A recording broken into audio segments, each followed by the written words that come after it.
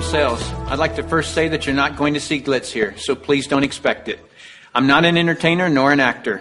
I've created this video as a tool designed to educate people about a business concept that works for people who are willing to put 100% of themselves into something. See, it takes 200% to be successful in business. 100% must come from you. 100% must come from the business vehicle that you've chosen. Business vehicle meaning how you earn your living, how you support your family. I've seen people who relentlessly pour 100% of themselves into a business vehicle, profession, or job, but that vehicle doesn't have the capability to give back 100%. The mechanics of wealth are just not there. But no one has ever fully explained to you why it doesn't work and why it's a waste of your valuable time if your goal is financial success. This video is for the person who is willing to put in their 100%. They're only lacking the right business vehicle, the explanation of why it's right, and the evidence that it does in fact work. Even though I say you must put in 100%, that doesn't mean that you have to work it full time. I didn't. That doesn't mean you have to sacrifice your family time, nor does it mean you have to have prior experience. I didn't. What you'll learn right here has allowed me to build a $25 million company. Now, a $25 million company has certainly been done before. However, this was done where no employees were required. No accounts receivable, no accounts payable, no overhead, and very little inventory. Recently, I said those words to a business owner who said back to me, Sounds too good to be true. My response back to him was, Is that a good enough reason to stop looking? He paused for a couple of seconds and he said, That wouldn't be very smart, would it? What I suggest you do is not just watch this information, but study it. What I want to do first is create an equal playing field between people who know how to evaluate a business and those who don't. Because me explaining this business wouldn't be very effective until you understand how to place value to a business. The simplest thing for someone to do when they don't understand something is to go, ah, it doesn't work. The way I'll accomplish this equal playing field is to give you four main principles to look for in a business. Number one is a huge expanding market. If you were the best vinyl record producer in the world, would it matter today? No. It doesn't matter how good you are in an industry that's eroding. Number two is a unique and consumable product. I'll cover unique first. If you don't have a unique product, then you compete on price and convenience. Who has the best price? Who's closest to the customer? Yet if you have uniqueness, then people must come to you. Next is consumable. If you have a non-consumable product, you're basically unemployed until your next sell. You want the repeat sales of consumable products. Whether it's every time someone picks up the telephone, connects to the internet, renews a membership, turns on the electricity, or gets to the bottom of a box or a bottle, you want those repeating commissions because it can pay you again and again. Number three is timing. Primarily here I'm talking about trends in timing. During all cycles of the economy, there are people who are making money and losing money. The makers are the ones in front of large trends. The losers disregard trends. How do you get in front of large trends? You study what creates them. Without any hesitation, in today's society, it's the baby boom generation that creates the largest trends. The baby boomers are a group of babies born between 1946 and 1964. There were 76 million of them born in the United States, a billion of them worldwide. Why is this group so talked about? They're one third of the U.S. population and control 65% of all the money. I've likened the magnitude of all those babies to a basketball moving through a garden hose. They reshape every industry they go through. See, if you can predict where this basketball is going down the garden hose, you possess the ability to make fortunes. I want to give you some historical examples of the obvious buying patterns of these boomers. It started with a company called Gerber back in 1940 who were barely known. But by 1955, just 10 years after the boomers were born, they had sold 1.8 billion jars of strained baby food. As the boomers took their first steps, it was Buster Brown and Kinney Shoes. When the boomers went out to play, Mattel and Hasbro got rich providing toys to this young group. In 1957, we built more elementary schools in the U.S. in one year just to handle the overflow than we did in any 12 year period before or after. As the boomers went through their teens, Dairy Queen, McDonald's, Kentucky Fried Chicken became billion dollar companies feeding the boomers. When the boomers moved through their 20s and 30s, which was in the mid 70s, what was the industry to be in? Real estate. Why? Because the boomers had heard from their parents one time too many, as long as you're living under my roof, you'll do as I say. So they wanted their own roof. which created a 15 year real estate boom. And people are still talking today about the great time frame to be in real estate. Then what happened to the real estate market in the late 80s? It began its decline. Why? The basketball had moved through the real estate industry. Another example of this is the U.S. stock market. Several years ago, I heard a stock market analyst speaking on the radio saying that he just couldn't believe the stock market had a 15 year rise. Notice the number 15 years keeps coming up. Anyone with a good understanding of the baby boomers could have seen this coming and profited from the recent stock market activity. Why does this 15 year number keep coming up? Because the baby boomers were born between 1946 and 1964. And so 18 years separates the front edge from the back edge. A very important number for you. If you look for trends on the front side of the basketball, you get the full 18 years for your products to be popular. That's the reason you study the nose of the basketball. So your business, no matter what your business is, is to be looking at what industries are expanding or which industries are about to expand. You shouldn't care how long you've been doing something or how long you've been in school to learn something. Are you in front of trends or not? Don't have a loyalty to something just because you've been educated in it or doing it for a long time. So, looking at the current trends, we basically got a billion people who are in their 50s and 60s. Since that's the case, what business do you want to be in? Let's look at some obvious current and future trends. Health and looking younger are going to be tremendous trends. The boomers do not like what aging is doing to them. So products that fend off aging as well as vanity issues will continue to boom. Businesses that focus on retirement issues will do very well. The crux of it will start with the boomers having enough money to retire. Businesses that offer ways to make money will obviously flourish. Legal matters, such as wills and estate planning, will become large trends. Efficiencies will also grow. The television was too far away from the couch for the boomers, so they invented the remote control device. Today, they have their entire library of books and music in their cell phones. The boomers have always been enamored with technologies that make life easier. These technologies will actually create industries. For example, the computer created the need for antivirus software. The internet has created a need for identity theft protection and firewalls. But there will be many additional industries created by the computer and internet technologies. It is the computer plus the internet that made the iPod, iPad, and iPhone possible. As a side note, the baby boomers are not the only trendsetters. They are just the largest and have most of the money. As the world becomes one, the international market will play a big role, as well as the group born just after the baby boomers that are known as Generation X. But remember, the boomers control 65% of all the money. So when a bright Generation X person creates a great new product or service, they must make it simple enough that a baby boomer can understand it. Otherwise, that product will not reach mass acceptance. Those are some of the big trends. So if you want to be brilliantly compensated, you must focus on industries and companies that have positioned themselves in front of these trends. All right, let's move forward. Number four is leverage. I'm going to spend some time on this one because we're not really taught this in our society. We're taught to go get a good education, build a resume, and exchange our expertise for someone's dollars. The problem with that is if we're not exchanging our expertise, we're not making any dollars. So vacation time is costly. A walk around the golf course, costly. Family time, although extremely important, is costly. I'll define the word leverage as an increased means by which to attain something. One form of leverage is investing $5 million and earning 10% interest, which will yield you about 41 grand a month in income. So whether you're enjoying family time or playing golf or vacationing, you're still enjoying 41 grand a month in income. You're leveraging off your money.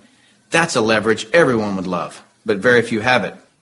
Let me explain another kind of leverage that's available to everyone, including yourself. Incidentally, if you get nothing more out of this video than a better understanding of this little simple concept I'm going to explain, you'll have gained something very valuable for watching it. Imagine, if you will, you own a company. You employ just one person, me. I work for eight hours on Monday.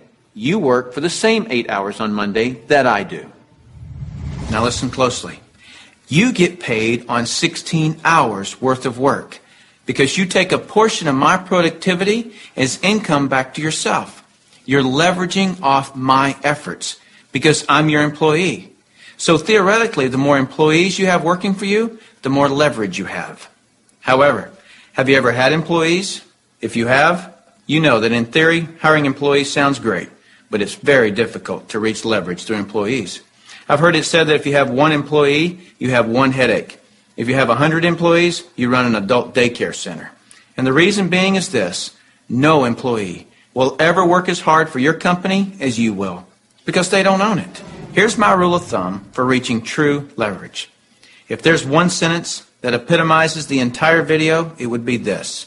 To have true leverage, you must create a situation where everyone has the same amount to gain. Only then do you have true leverage. Let me give you an example of this type of leverage. Let's say that I'm a real estate broker and I hire an agent named Robert. Robert goes out and sells a building. Robert earns a percentage of the selling price of the building, and so do I, the broker. Why do I, the broker, earn a percentage when it was Robert who sold the building? Well, I did some of the advertising. I trained Robert. I had the initiative to go get my broker's license in the first place. I put up the risk. I did a lot of things. And so it's valid that I, as the broker, earn my money. But Robert doesn't work for me as an employee. He's an independent contractor. He just hangs his real estate license on my wall. My point here is the broker and the agent have the same amount to gain from the sale of the home. It is totally in the agent's interest to earn more money, which is a form of leverage for the broker. There is a flaw in this leverage situation that I've shown you, and it's this. The broker can have multiple agents, but the agents cannot. The broker has leverage, the agents don't. Until the agents do what most brokers dread. What happens when I, the broker, have been real effective at teaching Robert to be a good agent? What's Robert going to want to do in a couple of years? Be his own broker, right? Is this good for me, the broker? No, because as soon as he becomes a broker, two bad things happen to me.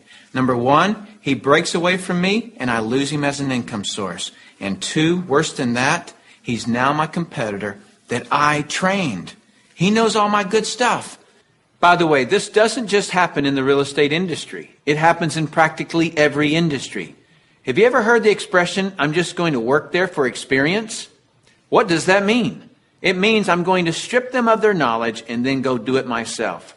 If you're a business owner, how many people have you trained who are no longer working for you? How many people have you trained to be your competitors? Well, this gets worse. Let's say that Robert is now a broker right down the street. What will he do now that he's a broker? He'll go out and hire his own agents. And let's say one of those agents is Linda. Linda also eventually wants to be a broker. So she becomes a competitor to me that I indirectly trained, as well as Robert, who I directly trained. And this continues on and on.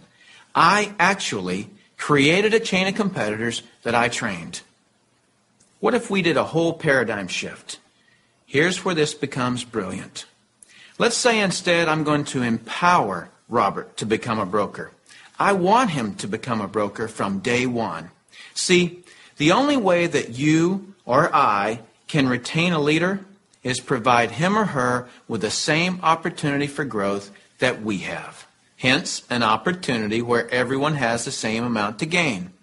So from day one, I'm going to encourage Robert to be a broker. And when he does, he doesn't break away from me and become my competitor.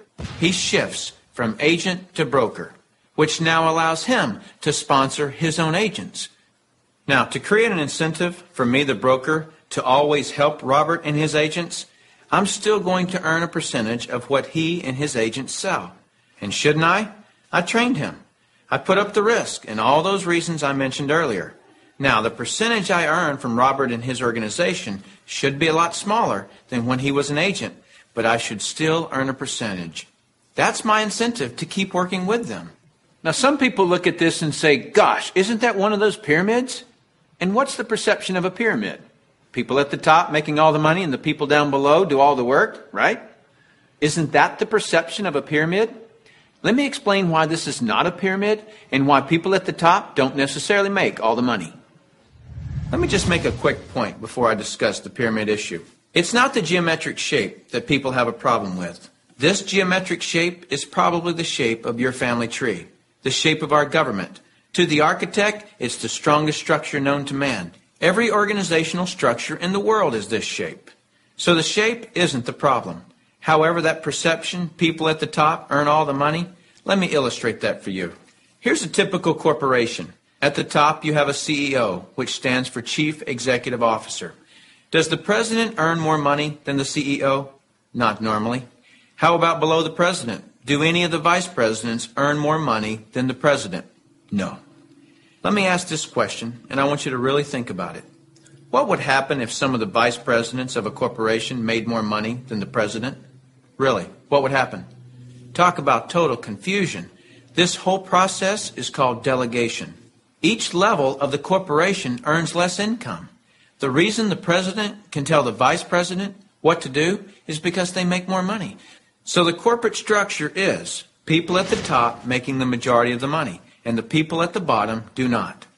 The CEO of any corporation earns off the productivity of or is leveraged off of everyone in his or her corporation. Whether that CEO personally hired every employee or someone else in the company hires them. So the CEO, and only the CEO, earns on multiple levels of his or her company. And the model that I'm suggesting as being brilliant is where you, the individual, are given that same opportunity to earn on multiple levels of brokers and agents, just as the CEO of a corporation is. From here on, I'll refer to this form of marketing as network marketing. In network marketing, you, the individual, are given the opportunity to earn off the productivity of the people in your organization, whether you personally sponsor them or someone in your organization sponsors them. Remember that I said to reach true leverage, you must create a situation where everyone has the same amount to gain. Well, that's what I just described. Here's what makes the network marketing structure the absolute fairest structure available. In most network marketing companies, Everyone can earn a certain number of levels deep of the organization they build. Everyone in the company can earn that same number of levels deep, like maybe four levels deep or six levels deep. Let's say we use four levels. So if you build an organization to be more productive, then you would earn more money than I would, even if you were in my organization. In the example shown, you would earn on three levels I couldn't reach because everyone gets the same number of levels. There are people in my organization right now that earn more money than I do. Do you know what I call that? Fair. Shouldn't it be that way? I mean, take any structure. Shouldn't the most productive person in that structure make the most money? Now I'd like to show you an interview that I did a few years ago with Dr. Charles King, who holds a PhD from Harvard and is a professor of marketing at the University of Illinois at Chicago, who actually teaches network marketing at the university. Dr. King, we're delighted to have you here. I'm pleased to be here, Tim. Dr. King, could you tell us a little of your education and your business background? Tim, I'm a professor of marketing at the University of Illinois at Chicago. I got my bachelor's and master's degrees from the University of Texas in Austin, spent a tour of duty with the Exxon Corporation, and then returned to get my doctorate in business administration from Harvard University. More important to this discussion, over the last six years, I've been involved in doing research, teaching, and consulting in network marketing. So, coming from such a conservative school, and I know you a little bit, and I know you to be very conservative, what caused you to look at network marketing to begin with? In 1990, we had a major economic recession in the United States the Midwest and Chicago particularly were very badly hit. As a result, the interviewers stopped coming to campus.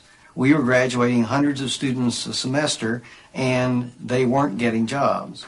Our alumni were coming back to us losing their jobs looking for help and we had nothing to offer them. Now, I started looking because of my background in, in business consulting at alternative career paths. I went out and I looked at starting your own business, at home-based businesses. I looked at franchising. I looked at direct selling. And in the direct selling arena, I backed into network marketing. Now, I was very cynical, skeptical. Tim, I was negative about network marketing. They don't teach network marketing at the Harvard Business School, and I didn't know much about it. The end result was uh, one of my students who was on the team asked me, Why are you so negative about network marketing? I looked at that young man and I said, Son, I know enough to know I don't want to know any more. That student looked at me and he said, Professor, if I gave you that answer to that question with no more information than you have, you would give me an F. I turned to him and I said, Son, you're absolutely right. I have no basis for that conclusion. You just made an A. As a result, we went to the library, we went to meetings, and for the next six months, we did due diligence on the network marketing industry. I visited the top companies, I talked to network marketing leaders, I became an evangelist. In 1990-91, we started teaching network marketing in the marketing curriculum at the university. Suppose you run across the super skeptic. What advice do you have for them? Tim, I would recommend they do precisely what I did. I was a super skeptic. I did my due diligence, I investigated the industry, and I drew my own conclusions. I strongly recommend that you do your due diligence and then begin to define precisely what role you want to play in the network marketing industry. Set realistic expectations. If there's a single cause for failure in this industry, it's the get rich quick syndrome. Thinking that you can come into the industry and make enormous sums of money with no work. I argue by contrast that if you set realistic expectations, you develop a plan of action to guide your business development, you can be successful. And that's coming from a Harvard Business School graduate who was a true skeptic, but through due diligence, he learned the truth. Warren Buffett owns a network marketing company. If you don't know who he is, he's typically listed in the top five richest people in the world. He created his wealth by investing in and buying the highest quality companies.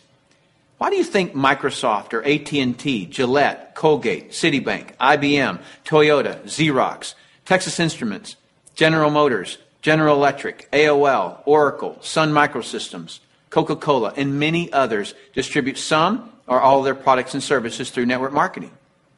They use this method to distribute products because network marketing is a very efficient model to distribute products and services. These large corporations are firm testimony to the industry's success and credibility. This confirms what Professor King was saying about that the industry has come of age and is now a true profession. The reason so many people are coming into network marketing is because people want control of their life. They want a quality of life, and network marketing truly offers that. I hear people all the time complaining that they are too busy or don't have enough time. People act as though time owns them instead of them owning time. Have you ever noticed that there are people who, with 24 hours, earn $10,000 a year? And there are people in the same 24 hours who earn $10 million a year? Let me explain the difference. I've heard people say this phrase It's easier to just do it myself than try to get other people to do it. Whenever I hear that phrase, I know that person just nailed their feet to the floor. All they can do is expend their time, not invest their time. Here's a secret. Wealth is hidden from those who must do it all themselves. Wealth exposes itself to those patient enough to train others. When you understand the power of educating and empowering others so that you get more done, you're truly on your way to wealth. Now, with that understanding of the importance of training others so you get more done, look at network marketing and you'll see why I call it brilliant compensation. In network marketing, what you teach and train others to do is duplicate what you do, which is to find and train others. This is actually multiplying you. That's why I say next to your spiritual growth and your family, there is nothing in the world you can do that will reward you better than investing your time in network marketing. I'd like to cover one last thing in closing, which I feel is one of the most important points for you to fully understand the value of network marketing. Let me illustrate something to you that is so profound. What's the maximum number of hours you could work in a day? 24 hours, right? So if you didn't sleep all day, you could work 24 straight hours. What if you didn't sleep for a whole year? You could actually work 8,760 hours in one year but that's the maximum number of hours you could work in a year. I have 56,000 people in my organization worldwide. Well, let's suppose that all 56,000 people work just one hour out of a year. 56,000 people times one hour each equals 56,000 hours of work that I'm being paid on. Well, for most people to earn on 56,000 hours of work, they'd have to work for over six years, 24 hours a day without sleep to put in the same amount of hours that I could in one hour a year. Let me throw in something really ridiculous. Suppose all my 56,000 people worked one eight hour day in a year. 56,000 people times eight hours is 448,000 hours I'm being paid on. Well, it would take most people working over 51 years, 24 hours a day, to do what I could do in eight hours a year. Eight hours in one year versus 51 years working 24 hours a day? Doesn't seem fair, does it? It's definitely not fair. What's not fair is that you haven't understood this until today, and other people have. But now that you understand it, take responsibility for it. Don't go running and try to create reasons why you can't do this. You can do this. I don't say any of this to impress you. I don't need to impress you. This is an educational only video. My purpose in creating this tool is to contribute back to that woodpile that so generously gave to me. Because network marketing has given me a lifestyle I previously couldn't have imagined. And because network marketing has given me total financial and time freedom, I feel it my responsibility to explain the industry in an understandable way. So I say all of this only to impress upon you that the difference between the wealthy and everyone else is leverage. You've got to understand that. And nothing gives you, the individual, leverage in such an ethical way like network marketing can. So go get a pad of paper. Write down what you really want in life. Then call the person who gave you this video and tell them whether you're an A, B, or C. C is see you later. No thanks. That's fine with us because your relationship with the person who gave you this video is more important to us than anything. Or you're a B. A B is I may be. I want to first explore the product. If that's you, then do that. Don't procrastinate. The number one killer of financial success is procrastination. People just putting it off until tomorrow, and they've somehow convinced themselves that they'll actually do it tomorrow. You know what I'm talking about. As soon as I'm done with this project, then I'll have more time. Or as soon as little Jimmy gets back to school, then I can. And they never do. If a person has an excuse, they have all they need to fail. Don't let that be you. Get your product today. Or you're an A and that means absolutely. No, you don't have all your questions answered, but you see enough to start and begin your training. Very well done to you in your ability to make decision.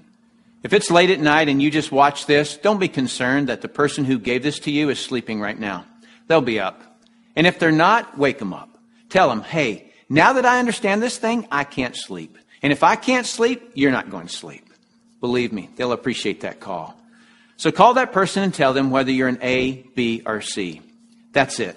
Join us. You'll be glad you did. Now is the right time, the smart time. Thank you for taking the time to view this video. I hope it's been educational to you. What I really hope is that you'll put this information to good use. Next, you'll see some common questions that you can interact with. I look forward to working with you should our paths cross. I'm Tim Sales.